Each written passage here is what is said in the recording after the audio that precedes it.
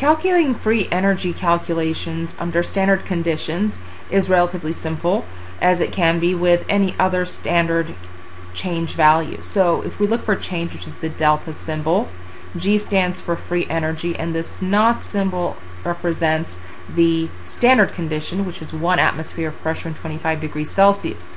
And most of these standard calculations pretty much use this basic equation that the summation, sigma meaning sum, of all of your products and the sum of all of your reactants can be found. And when you take the difference of the two, you find the change or delta G. So take the sum of all of your free energy of the products, sum of all of the free energy of your reactants, and when you take the difference of that, you get the change in free energy or the standard free energy of formation. Of course, the sigma represents summation and the sum of those values, and then we take the difference to find the delta value. But of course, when you do look up a G value in the appendices of a textbook or in a reference manual, or should you be given these values in a particular problem, it's important to note again that those values are representative of one mole of that compound, not anymore. So should you look at your equation and then find that you have more than one mole, you need to multiply that G value by the coefficient to find the total G value, the total free energy value for all of those moles of that particular compound, whether it be a reactant or a product. That's why you've got a reminder here of M, which represents the number of moles of your products, and N here, which represents the number of moles of your reactants. When you do look up those values per mole, the units for delta G are in kilojoules, so that's a typical energy um, unit, so that should come as no surprise.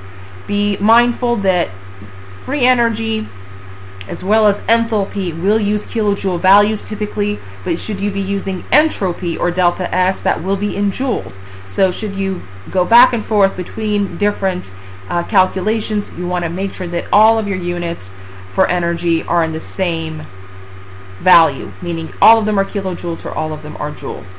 So let's take a look at this uh, example where we're calculating the, the standard free energy of formation for this reaction and that is the following, where we're going to find delta G by taking the sum of all of our products and subtracting the sum of all of our reactants. So you're given the delta G values here for propane, oxygen, which when they combust, of course, form carbon dioxide and water.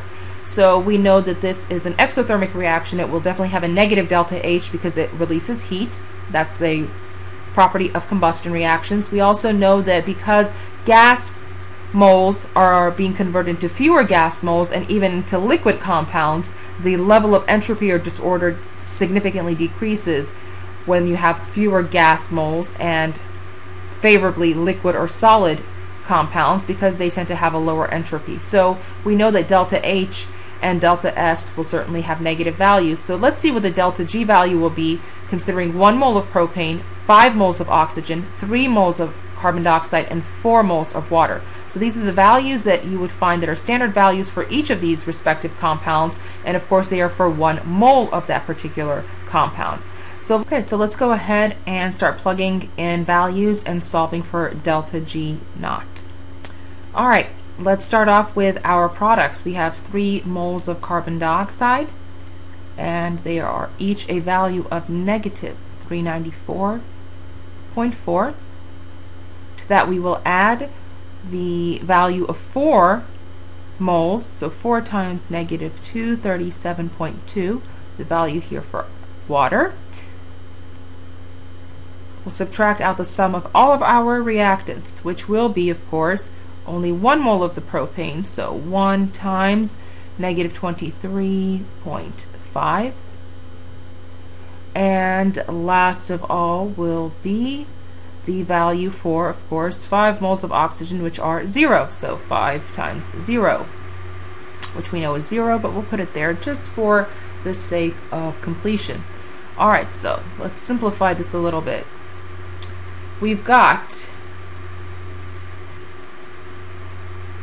the value of 3 times negative 394.4 which will be negative one one eight three point two.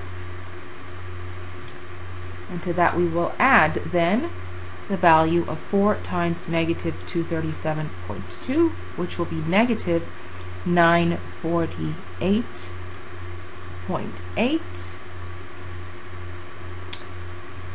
And that will take care of our products. We will subtract then from that reactant amounts. And the reactant amounts will be 1 times negative 23.5, which is negative 23.5 plus 0.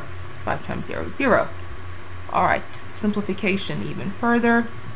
And we get the sum of all of our products, this negative 1183.2 and negative 948.8 will be a very big negative number of 2132 and from that we will subtract the value of negative 23.5 which is the sum of all of our reactants so negative negative means this becomes a positive and so we will be adding 23.5 to negative 2132 which will give us a total value of negative 2108.5 and of course these are in kilojoule values